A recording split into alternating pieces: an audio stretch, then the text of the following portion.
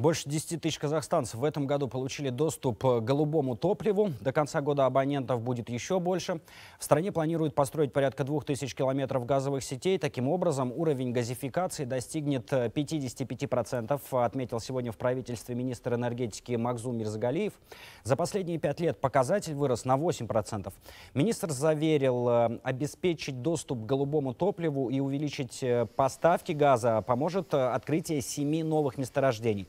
К 2030 году в стране планируют э, добывать больше 42 миллиардов кубометров товарного газа. Сегодня эта цифра достигла почти 30 миллиардов кубометров.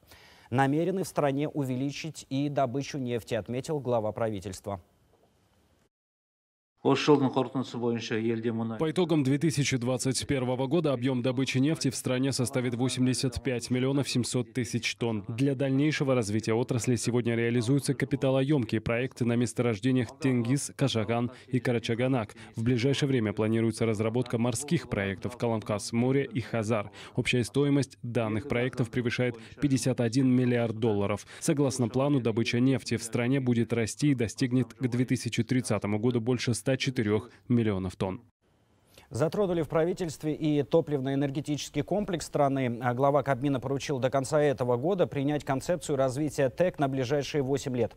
К 2025-му в Казахстане введут свыше 1000 мегаватт дополнительной энергии на базе существующих электростанций и теплоцентралях а, путем расширения и ввода новых блоков. А, тем временем, отметил Оскар Мамин, Казахстан обязался усилить роль зеленой энергетики. Сегодня выработка электроэнергии от 134 объектов ВИА составляет чуть больше 3%, тогда как к 2030 году стоит задача повысить показатель до 15% от общего объема генерации.